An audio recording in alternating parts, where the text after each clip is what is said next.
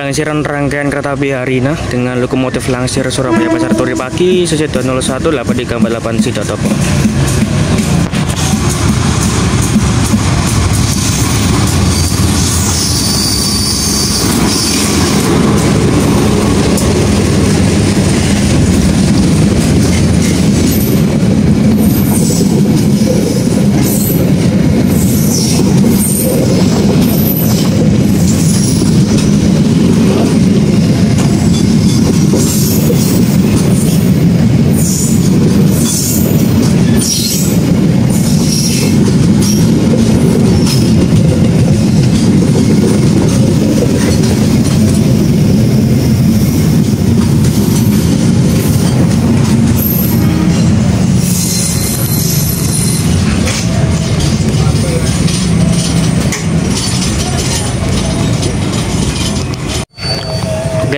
Rangkaian kereta api Harina yang dari arah Bandung ya ini dilangsir untuk menuju jalur simpan stasiun Surabaya Pasar Turi. Dan saya tadi hunting kereta api Sembrani ya teman-teman di daerah Semrowo di JPL 408 kalau nggak salah tadi. Dan tanpa diduga kereta api Harina dari belakang ya. Seharusnya Harina ini udah datang dari tadi teman-teman. Entah ini keretanya mungkin telat ya. Jadi saya nggak memperkirakan tiba-tiba dari belakang saya. Spesialis lokomotif Langsir Surabaya Pasar Turi Pagi sesuai 201 8348 milik tipe Sitotopo yang hitung miring ya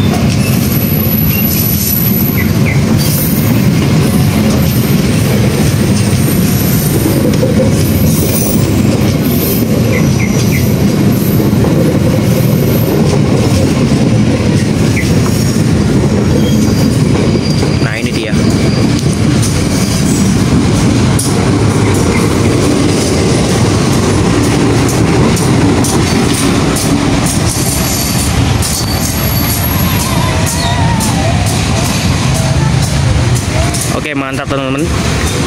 Tadi juga saya kemampuan sama datangan saya yaitu kereta api Blora Sura sudah berangkat tadi. Dari stasiun Surabaya Pasar Turi Jalan Cepu. Oke teman-teman ada kereta dari arah barat. Ini kayaknya kereta api komuter lain Sindro. Dari stasiun Indro tujuan Surabaya Pasar Turi hingga Sidoarjo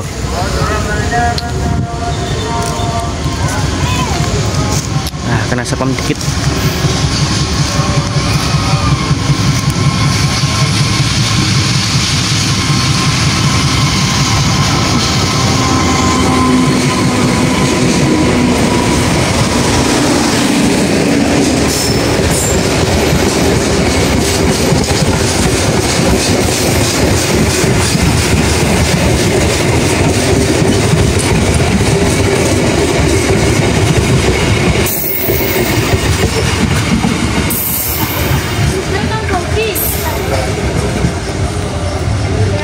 Oke, komuter lain Sindoro sudah masuk stasiun Surabaya Pasar Turi, mungkin di jalur 3.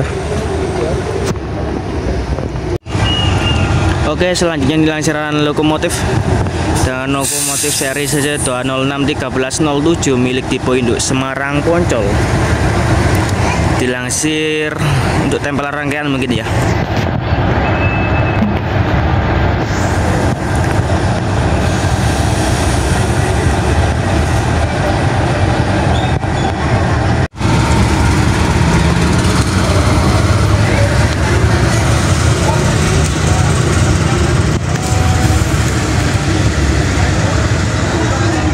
Oke, dilansir menuju jalur berapa tuh ya?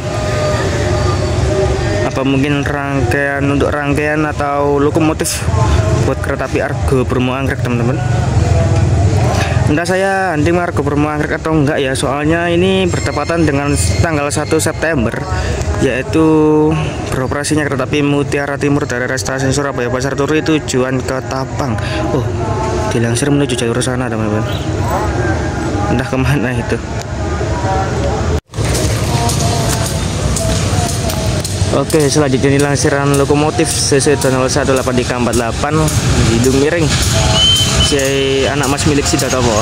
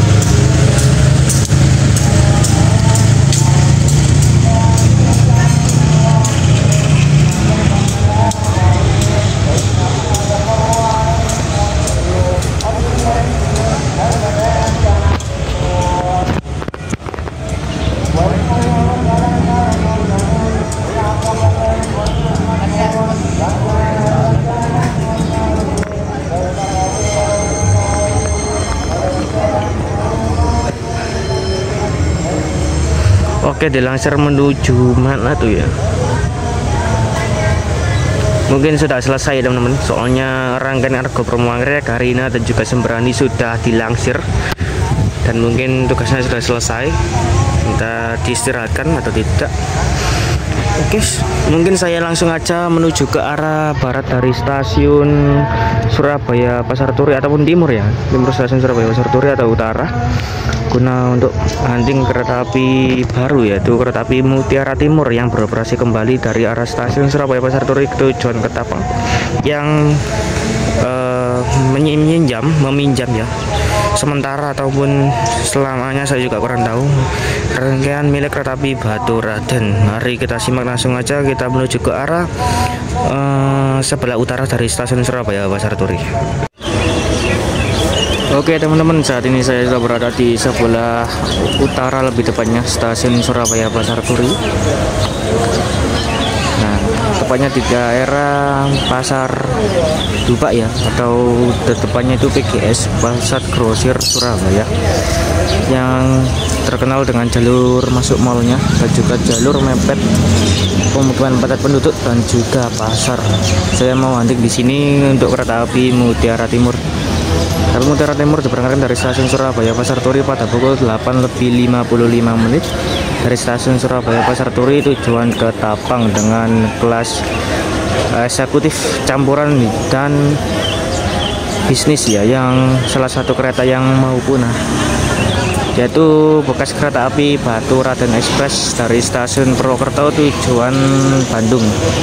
Yang kemarin eh, adalah perjalanan terakhir dari kereta api Batu Raden Express ya dan rangkaiannya tuh dipinjamkan atau dihibahkan untuk kereta api Mutiara Timur. Oke mari kita tunggu kedatangan tahu keberangkatan dari kereta api Mutiara Timur di sini ya.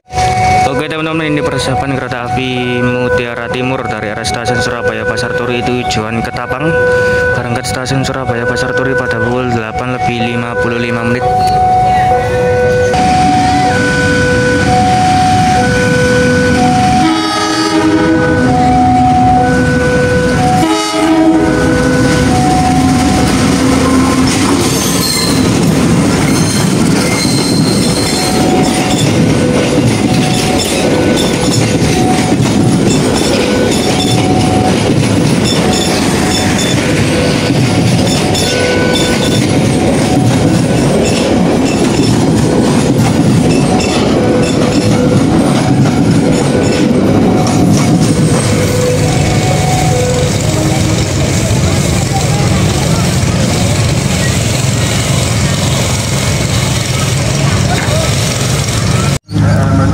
Oke teman-teman.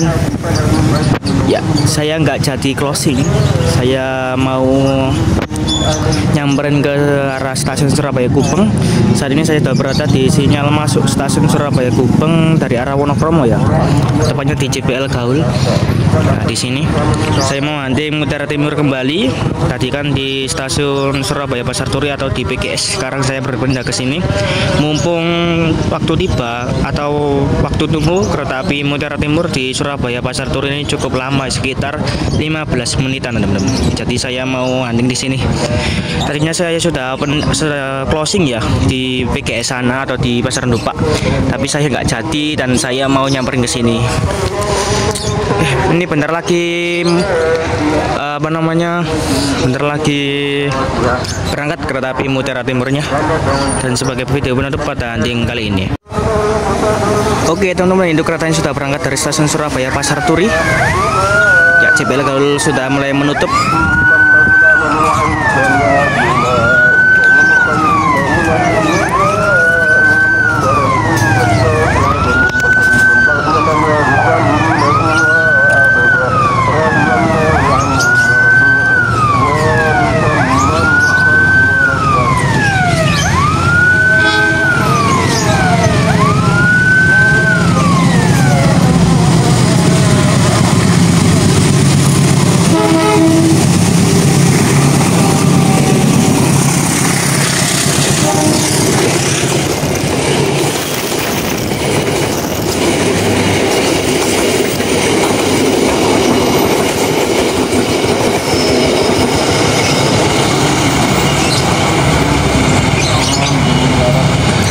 Teman-teman kereta api Mutiara Timur kereta dengan rangkaian barunya.